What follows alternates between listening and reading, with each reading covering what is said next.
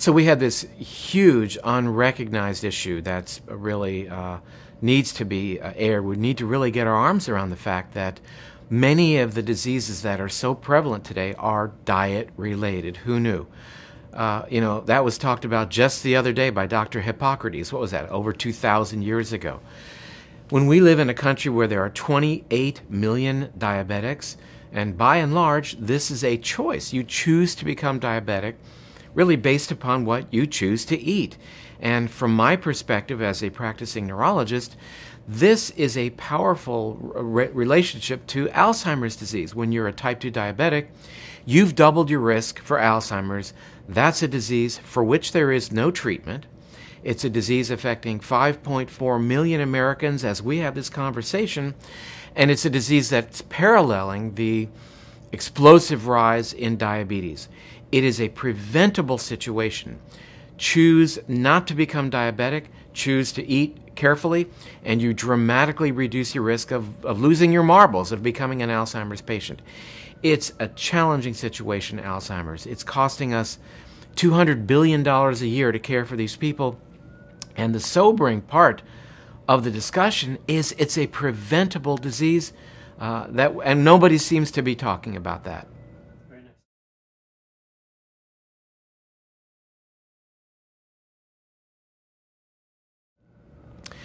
You know, again, uh, dealing with uh, Alzheimer's is going to break the bank.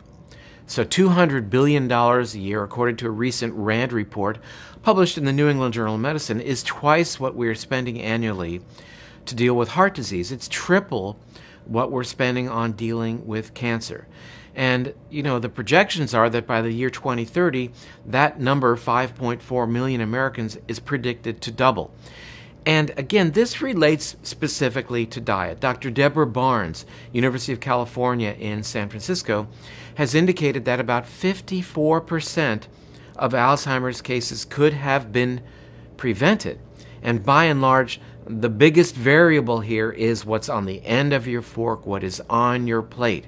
So, no one wants to talk about preventive medicine as it relates to the brain, and it's tragic because it's a tragic situation, not from a monetary perspective as much as it is from an emotional perspective for those families having to deal with mom or dad who no longer can remember their name.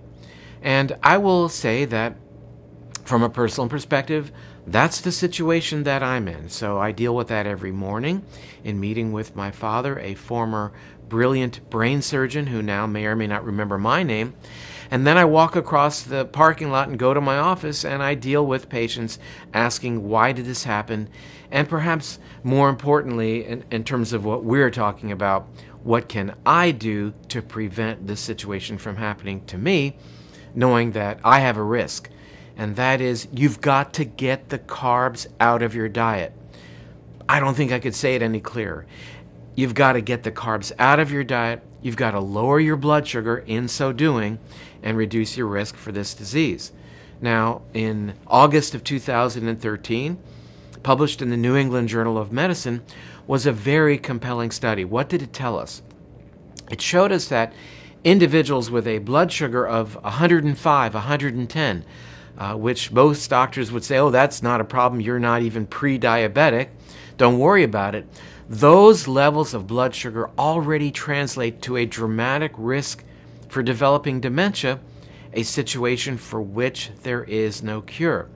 We control our blood sugar based upon our consumption of sugar and carbohydrates. There's no mystery there. We've got to welcome back as a source of calories and obviously nutrients fat.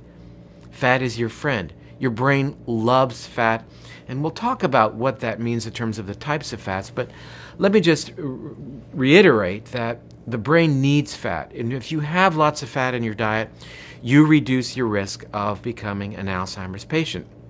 A study published January 2012 in the Journal of Alzheimer's Disease, a report from the Mayo Clinic, showed that elderly individuals who eat the most fat have a 47% risk reduction for developing dementia. Those who eat the highest amount of carbohydrates have an 89% increased risk for becoming demented. That's powerful stuff that we need to talk about. That's stuff that the public needs to become aware of because right now, what the public is getting is basically eat whatever you want, eat the fast food, eat whatever's around, live your life come what may, and then when you walk into a room and you don't know why, when you can't find your keys or remember the Wi Fi code, or as I like to say, when you become mentally one taco short of a combo platter, platter uh, you'll have a pill, there'll be something wonderful for you. Let's be clear. There is no treatment for Alzheimer's disease as we have this conversation, uh, and who knows if that'll ever happen. But it is preventable, and it's really time people understand that the ball is hit across the net back into your court as a consumer. That you've got to make the changes right now, the dietary and lifestyle changes that will reduce your risk of becoming diabetic, that focus on a low carbohydrate diet. And again, as a neurologist, I want people to understand this has a huge role to play in reducing your risk for dementia.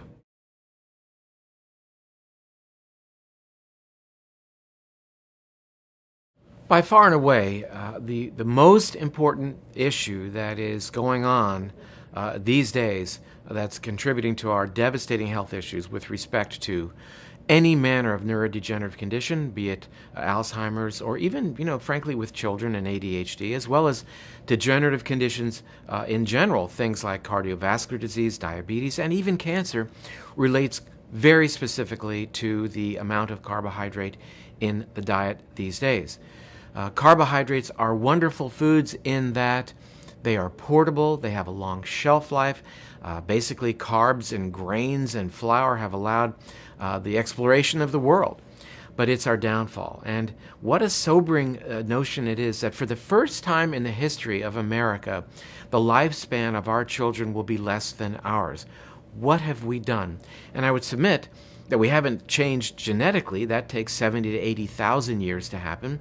We've changed the epigenetic factors, those factors that influence gene expression, and primarily uh, expression of genes based upon the foods that we choose to eat. So it's been this invasion of our diet by carbohydrates that has been so devastating to our health uh, that we're all witnessing now. And, you know, the notion uh, of the importance of going low fat and no fat has been an absolute perversion uh, in uh, the nu- nutritional recommendations that we've all received. So, you know, when you look at the food pyramid, that is, the foundation are the whole grain goodness uh, of breads and pastas and cereals. And at the very top of the food pyramid was this tiny little bottle of olive oil in light of all of the research coming out about how important fat is, and especially olive oil, we've really got to just take the food pyramid and turn it upside down and recognize, again, that fat is so fundamentally important for human uh, health and longevity and resistance to any number of diseases. And really, it's the way humans have eaten for a couple of million years. So it's, it's the carbs. It's all about the carbs. And unfortunately, you know, this has become the cornerstone of Western culture in terms of nutrition.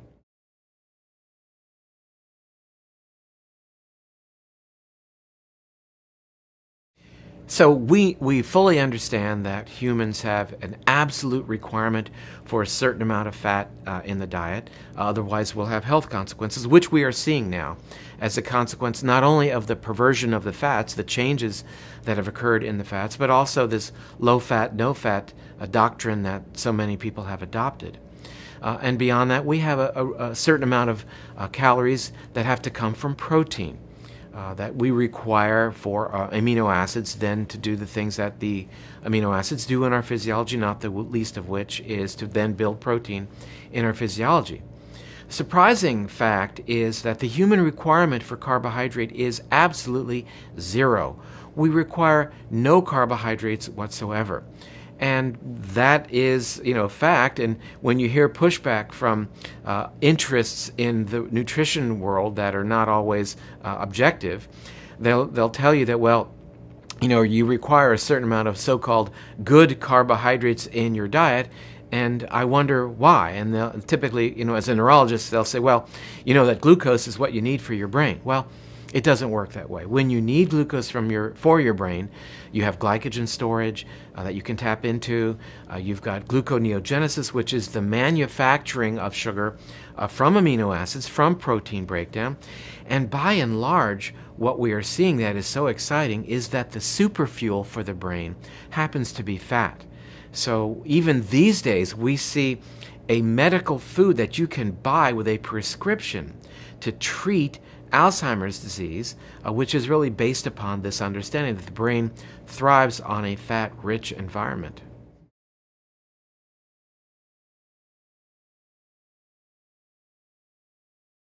So, one of the most important chemicals for the human brain, serving as a precursor for vitamin D, the precursor for progesterone, estrogen, testosterone, cortisol, and even acting as a brain antioxidant, is oddly enough cholesterol. So, uh, cholesterol has been so castigated over the years, the decades that we've been told it's our enemy.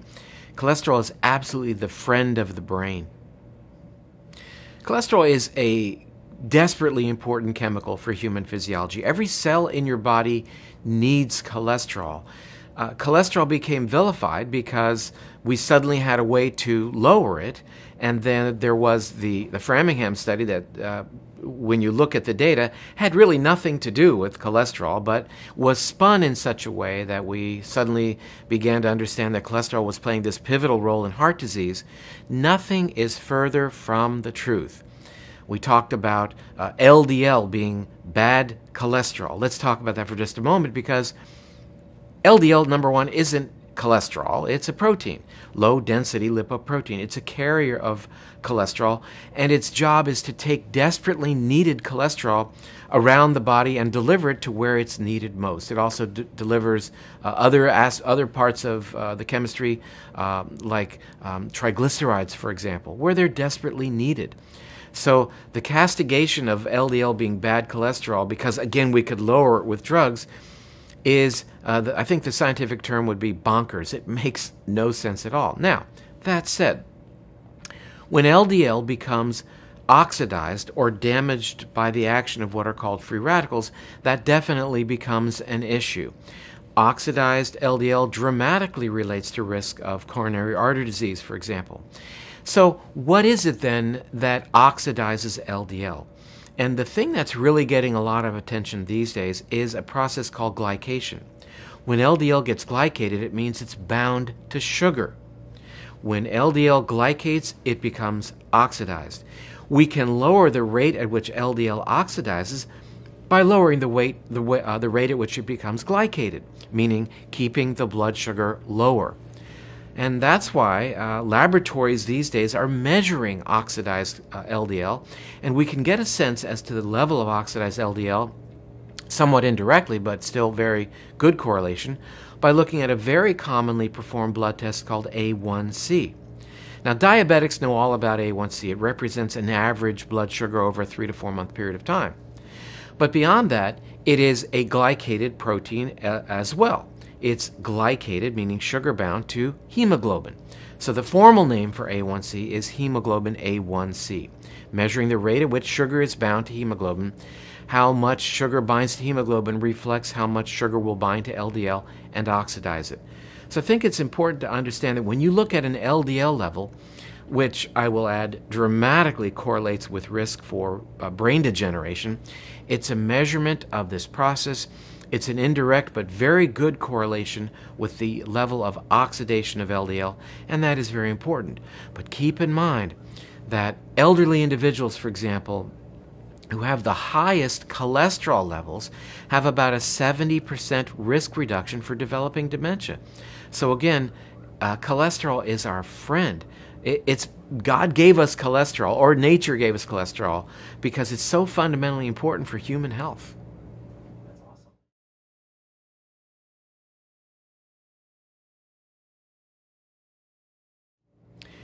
So we, we understand fully that the cornerstone player in vascular disease is a process called inflammation. And really, there's no relationship between cholesterol and inflammation, aside from the fact that when the arterial lining, what we call the endothelium, becomes damaged by becoming oxidized, then cholesterol appears on the scene to help put the fire out. So it's like blaming uh, the fire on the fire chief and the fire team that comes to the firemen that are put there to put the fire out. Cholesterol is not the cause of the inflammation, it's actually the body's response. And let me take that a little bit further. Because perhaps a little bit surprising would be the idea that Alzheimer's disease is an inflammatory condition, in this case of the brain. It is primarily inflammatory, just like coronary artery diseases, just like diabetes and cancer are related to inflammation. So we've got to do everything we can to reduce inflammation. When we glycate our proteins, when sugar binds to proteins, it does two things. It dramatically upregulates or turns on the production of damaging chemicals called free radicals, and it also dramatically turns on the process of inflammation, the cornerstone of Alzheimer's, Parkinson's, coronary artery disease, diabetes, and even cancer. So, this is really yet another reason uh, a powerful argument in favor of reducing our consumption of carbohydrates, getting our blood sugars not in the normal level, but into the optimal level, and reducing inflammation and therefore free radical production.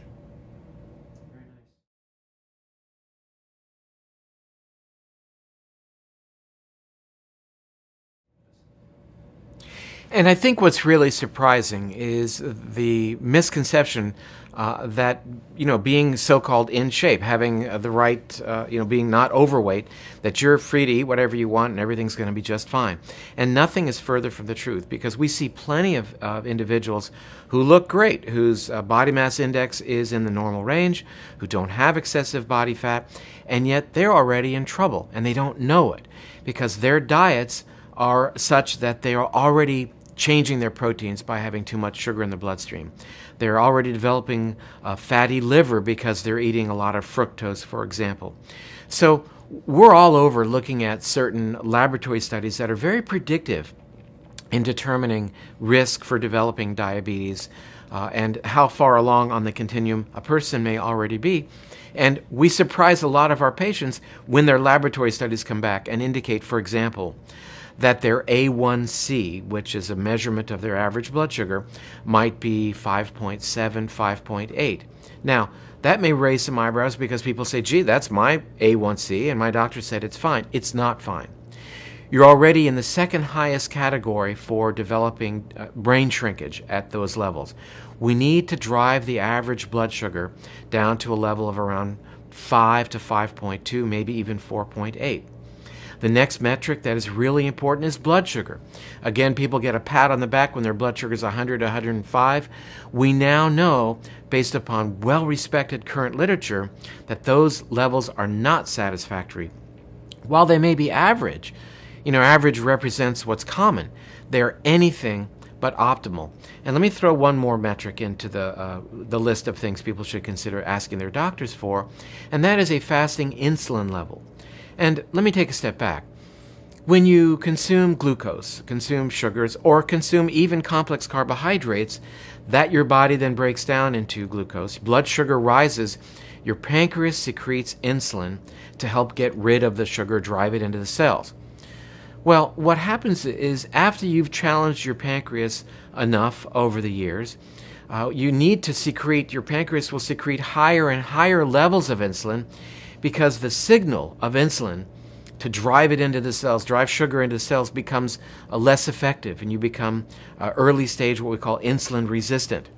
And this is the harbinger for actually becoming a diabetic. Now, you won't know that you're on that scale until you have a fasting insulin level checked. Now, normally, uh, if you look at the lab, they'll say, well, a normal fasting insulin level is up to 26 uh, nanograms per milliliter if your fasting insulin level is that high, you're already in deep trouble. You should have a fasting insulin level ideally less than two, but four, six, or maybe eight are levels that would indicate you're in fairly good control. So that predicts where you're going to go in the future. And oftentimes people come in, you know, they're going to the gym, uh, they're eating their carbs because they're able to, they think, work them off. But this whole uh, feed forward process, of increasing insulin and ultimately leading to insulin resistance uh, is already well underway, and you won't know it until you get those laboratory studies. And then a lot of people become surprised, and it's good because they become fearful. And then we're able to have this conversation say, look, you're already on your way to trouble. The time to act, the time to fix the roof is now when the sun is shining. Those are the words of John Kennedy from his inaugural address. And that's, I use that quote a lot because for many of my patients who I'm seeing for preventive medicine, the sun is still shining and we can keep it that way.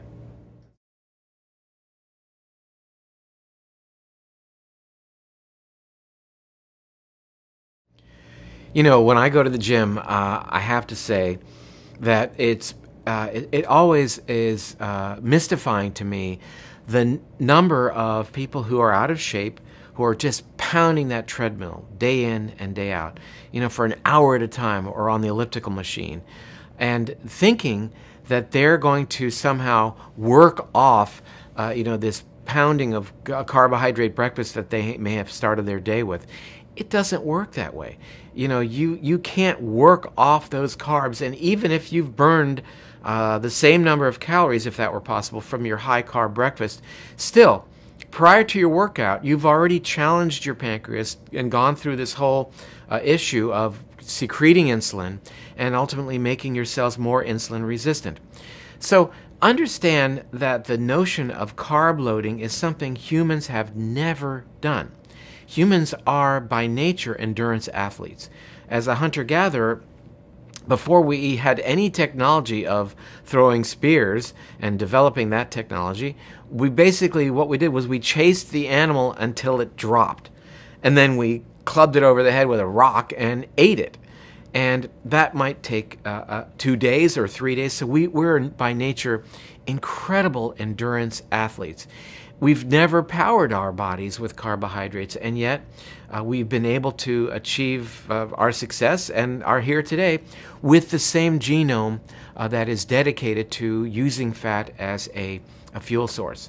So you must carb load and eat lots of carbs if you're basing your physiology and basically your metabolism on that notion. But when you keto adapt, meaning when you shift your metabolism over to one that recognizes or is able to use fat as a fuel source, and that may take a couple of weeks of being carbohydrate restricted while welcoming back fat to the table, then instead of tapping into the 2,000 calories of glycogen that you store in your liver and muscles, you're able to tap into 40,000 calories that are stored in your fat, and you've got this beautiful uh, oil lamp of a flame burning day in and day out that will power your body even through strenuous, uh, extended workouts, which is what humans, again, are designed to do.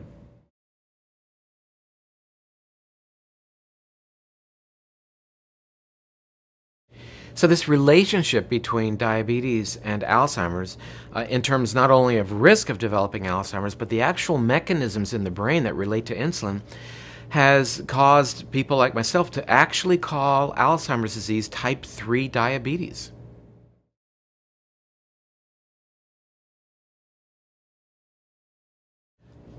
Think it's really important that people recognize that the current diets people are on and, and that are recommended are uh, so counter to what we have been eating for a long, long time. Step one, you've got to dramatically reduce your carbohydrates. Uh, and I mean, that's got to be dramatic. And step two is you've got to start eating good fats. There's no question that the ideal diet, from a metabolic perspective and even from a, the perspective of speaking to your DNA, is a diet that's rich in nutrients, uh, low in carbohydrates, and high in good fats, you know, avoiding the bad fats, the trans fats, and the modified fats. And, and one thing I really have to emphasize as we talk about the critical importance of a high fat diet, which this is, gratefully, but that doesn't mean all fats. You know, there are the trans fats, the hydrogenated modified fats that uh, have been scientized to extend their shelf life, which are like coffin nails. Uh, these things are the worst thing you can bring into your body. Devastating for brain health, devastating for your immune function, powerfully involved in increasing inflammation, the cornerstone of your uh, degenerative situation. So let's be real clear. We're talking about the olive oil, nuts and seeds, coconut oil, grass fed beef, uh, wild, not farm raised fish.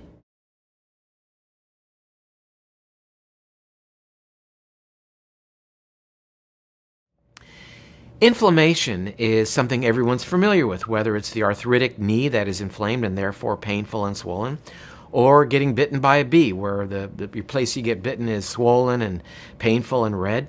But what people fail to understand and make the connection to is the role of inflammation in, for example, coronary artery disease. And from my perspective, how inflammation is actually the cornerstone of things like Alzheimer's and Parkinson's. Why don't you make the connection? It's because you know, the brain doesn't have pain receptors. We don't know the brain is inflamed. But clearly, inflammation is playing a pivotal role, and pro inflammatory foods are, for example, the carbohydrates, which change our proteins and increase inflammation, and that is the direct relationship between carbohydrates and risk, for example, for Alzheimer's. Another important player are, for example, the omega 6 fats that are so in, in, in our society these days, not just from using these fats that are on the grocery store shelves, but eating foods like beet that has been fed grain that dramatically increases the omega 6 to omega 3 ratio. So when you're eating grain fed beef or eating eggs from grain fed chicken, you're giving your body a powerful dose of omega 6s, increasing inflammation and therefore increasing the very process that leads to coronary artery disease, diabetes, cancer, and even Alzheimer's. We're heading down the rocky road right now in terms of the health of Western cultures. And there's an old saying if you don't change where you're going, you're going to end up getting there. And I really think that it's so important that people recognize that lifestyle choices are job one. We've got to change what people are eating. We've got to get this information out because the statistics showing where we're going in terms of heart disease, in terms of cancer, and in terms of Alzheimer's paints a picture that is really uh, not pretty at all. Uh, but we can change that. This glass can absolutely be half half full as opposed to half empty. We can't afford where we're going. The emotional impact of where we're going is going to be uh, devastating for all of us. But the good news is that we've got the information right now to make these dramatic changes.